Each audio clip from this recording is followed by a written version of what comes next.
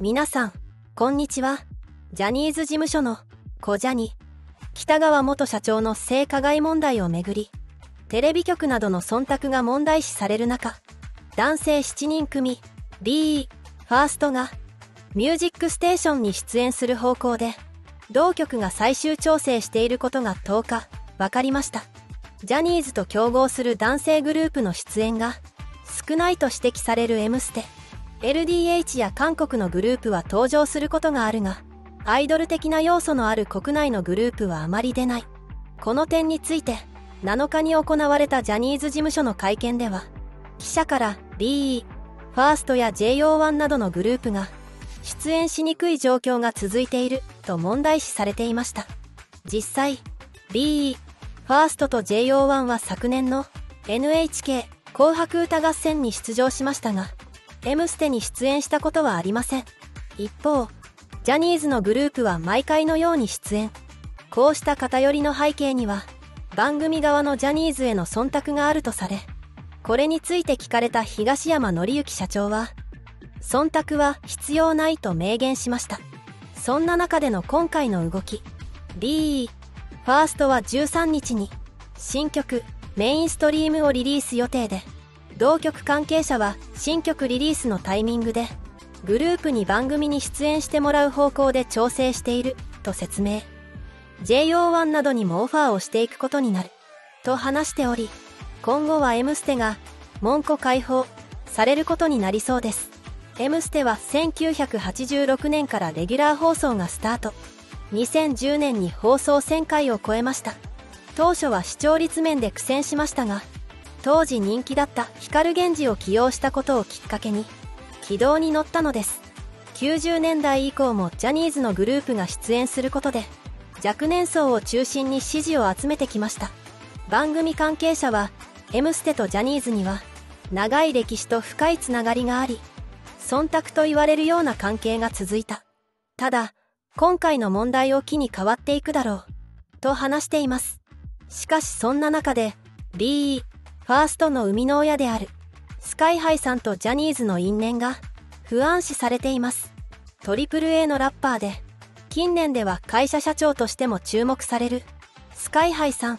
スカイハイさんのジャニーズ時代は2001年から2005年までの4年間です。中学2年生から高校2年生までジャニーズに所属していました。本名である日高光弘名義で活動していた。スカイハイさんですがジャニーズジュニアとして、ヤーヤーヤーのバックダンサーを務めていたり、雑誌に掲載されることもありました。そんなスカイハイさんのジャニーズ時代の動機は一体誰なのでしょうか？2001年にジャニーズ事務所に入所したスカイハイさん。その動機とされているのは、ニュースの小山慶一郎さん、キスマイフット2の宮田俊也さん、二階堂隆さん、横尾渉さん、平成ジャンプの伊能圭さん、藪浩太さん、元ニュースのメンバーで、現在はロックバンド、ワンオクロックのボーカルとして活動している、タカさんなどがいるそうです。皆さん未だに活躍されている、知名度の高い豪華な面々ですよね。ジャニーズ時代の動機が多方面で活躍を見せる。スカイハイさんは、ジャニーズ事務所を退所後、ABEX に所属し、2005年に AAA としてデビューを果たしました。ジャニーズ事務所を退所して間もなく、トリプル a としてデビューできたのは在籍数がとても多いジャニーズの中でうずもれていた。スカイハイさんの才能を ABEX が見抜いてくれたからでしょうね。そんなトリプル a にはジャニーズから圧力をかけられていたという信じがたい噂があるようです。噂の内容としてはトリプル a がデビューし人気音楽番組「ミュージックステーション」に出演し始めた頃セットなしで歌って踊らされその後ジャニーズ事務所からの圧力で「M ステ」に出演させてもらえなくなったとのことでした。ファンが出演できるよう協力しても確実に人気が出て売れてきても出演できずドーム公演ができるようになってやっと「M ステ」に再び出演できるようになったそうです。紅白歌合戦にも何度も出演し人気実力ともに持ち合わせている AAA が王道音楽番組である「M ステ」にだけ出演しないということから圧力の噂に拍車がかかったようです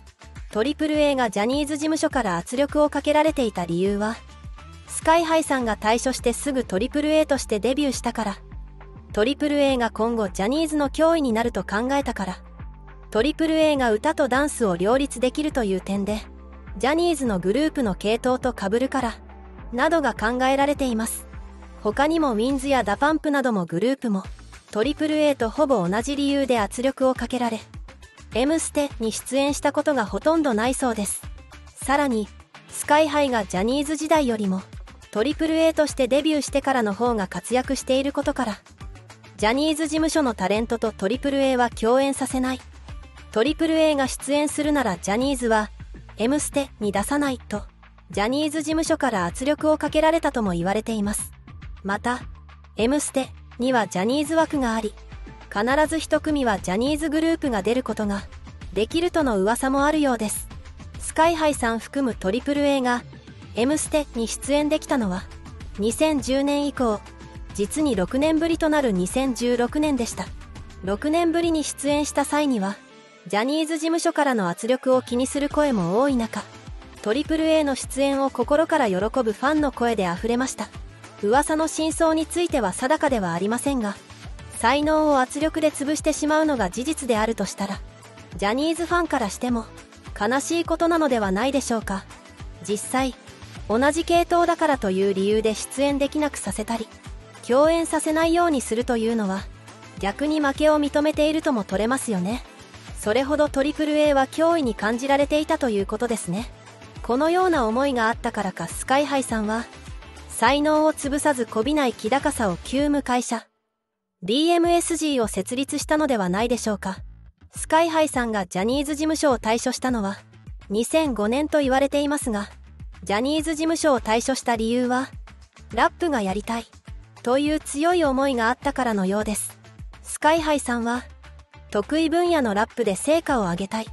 自分の可能性を広げたいという思いやジャニーズ事務所に所属していてもラップはできないという考えからジャニーズ事務所を退所することを決意したそうです。その決断が功を奏しジャニーズ事務所退所後 ABEX に所属し AAA としてデビュー。瞬く間に人気パフォーマンスグループとして名を世間に轟かせました。その中でスカイハイさんは歌だけでなく得意なラップを活かしラッパーとしてソロで活動もされています。2021年4月には今や若者を中心に爆発的な人気を博しているボーイズグループ。B ファーストを作った発掘オーディション。ザ・ファーストを主催。スカイハイさんはこのオーディションにかかる費用1億円をなんと自腹で出資したそうです。このオーディションは情報番組スッキリで放送されていたこともあり B ファーストはデビューして間もなく人気ボーイズグループになりました。さらにこのオーディションでスカイハイさんの考えや行動力にも注目が集まり会社社長としてもとても評価される結果となりましたいかがだったでしょうか？最後まで動画をご視聴いただきありがとうございましたコメントを残してくれると嬉しいですチャンネル登録高評価もぜひお願いいたします。それでは、また。